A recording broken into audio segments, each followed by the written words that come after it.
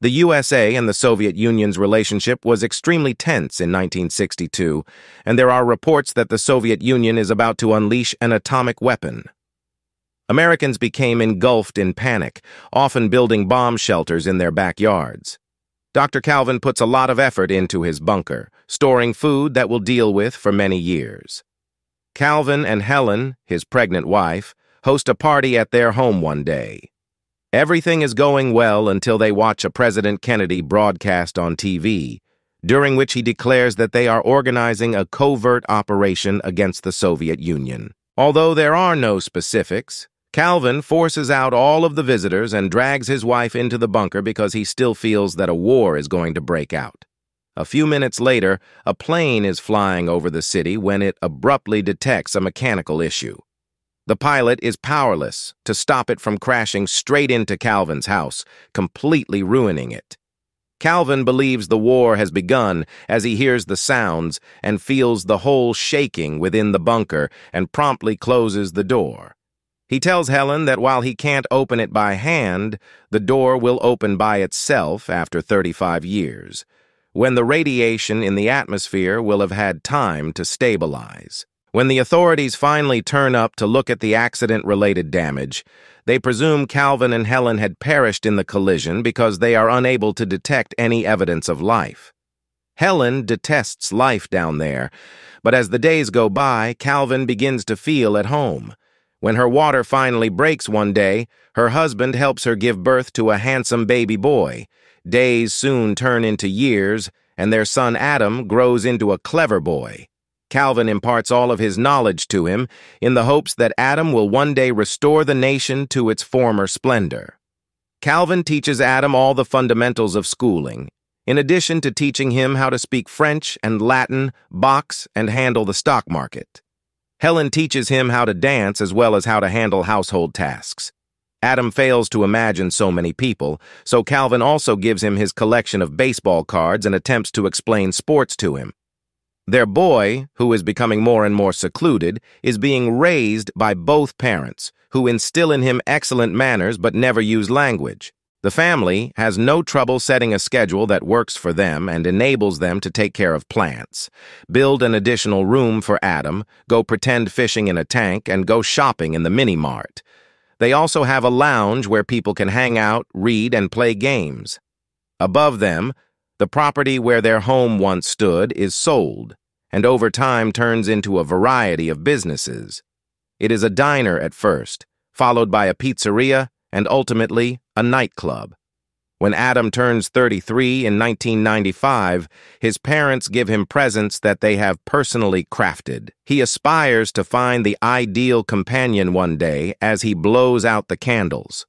When Helen brings up the fact that there are only two years left, Calvin responds by saying he will miss this location, which makes Helen retreat into a separate room to let out her rage.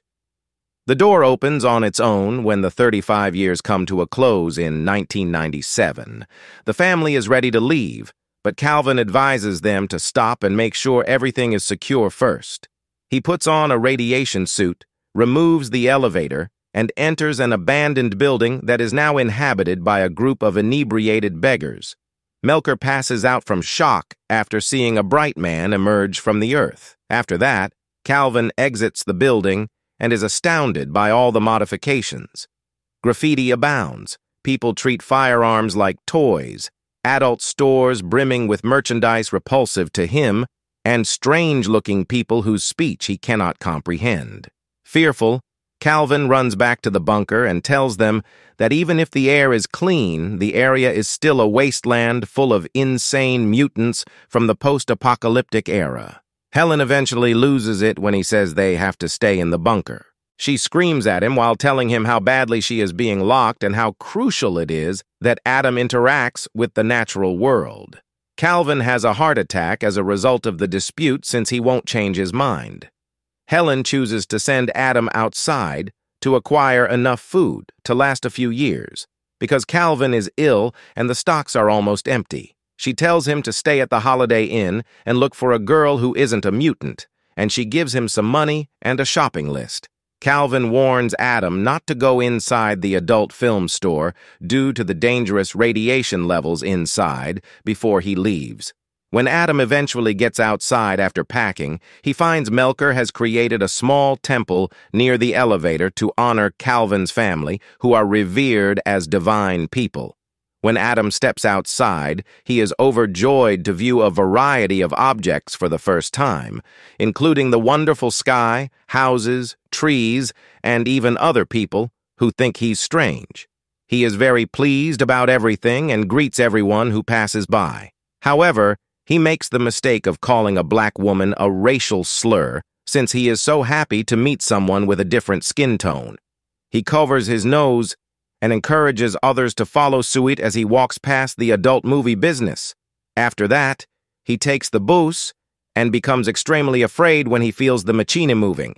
He tries to converse with other passengers, but nobody understands him since he employs archaic terminology, leading them to believe he is strange. Adam eventually arrives at the grocery shop and begins to pick up everything on the list.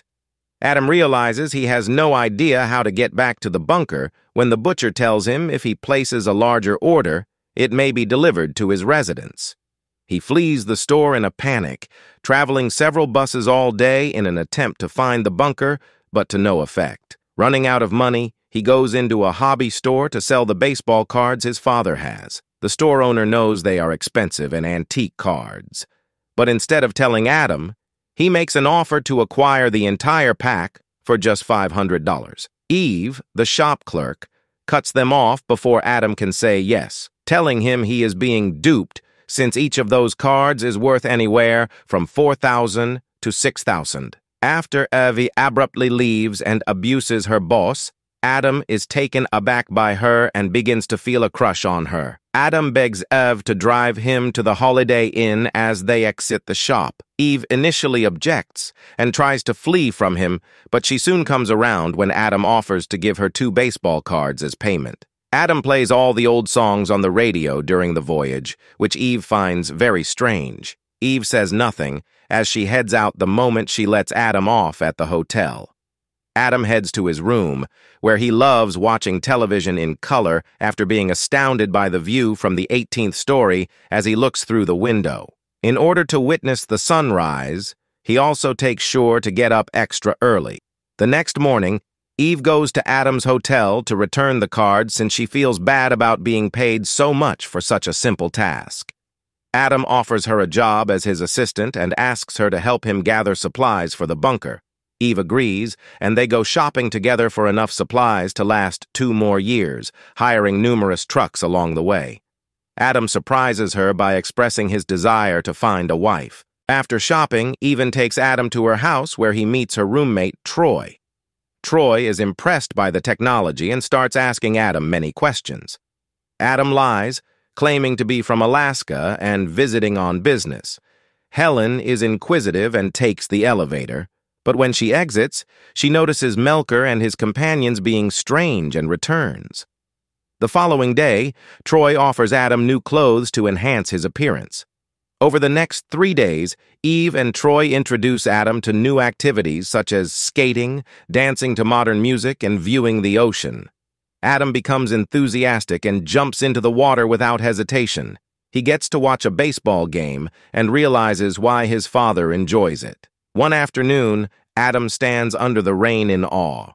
When Eve comes to check on him, Adam hugs her and expresses his joy, stating his father would consider this a miracle. Eve and Troy accompany Adam to an old-school swing club to find a wife, pushing him to be himself.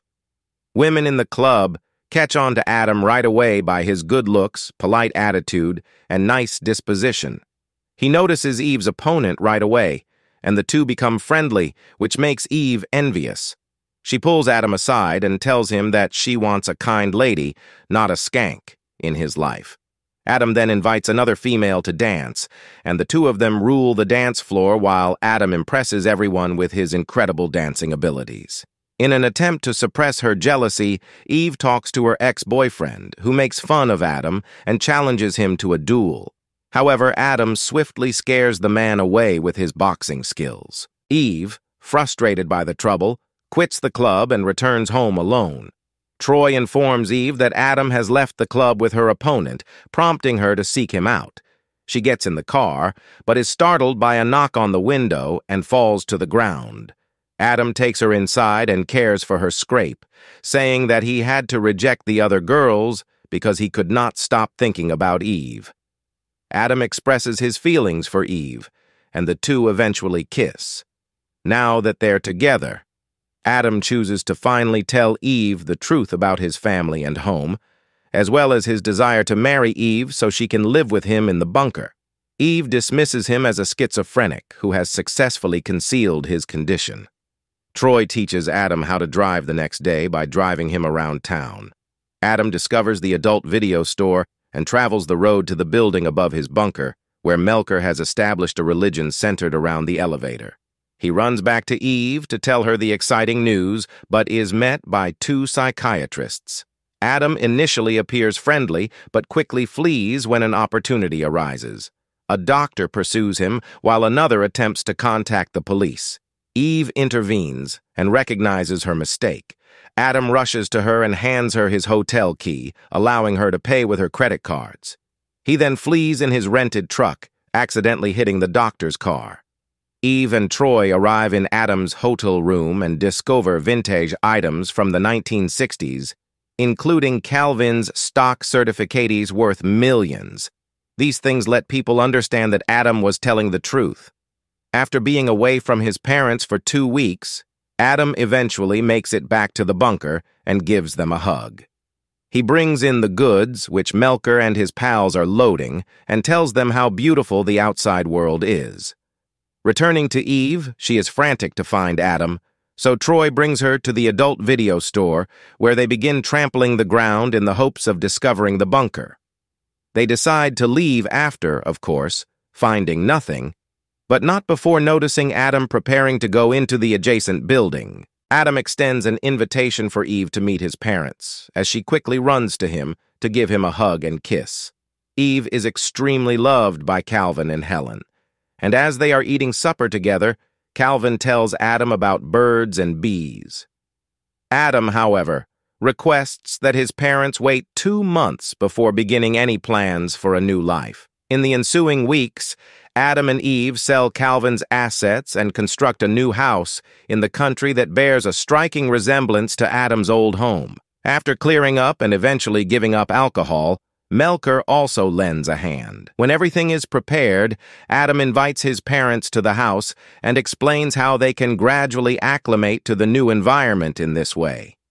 Adam eventually reveals to Calvin that there was never an atomic war, that the bomb had actually been a plane that crashed into their home, and that the Soviet Union had crumbled later on when Helen and Eve were preparing dinner. Calvin starts making plans to construct a new bunker just in case, refusing to believe. Thanks for watching my video.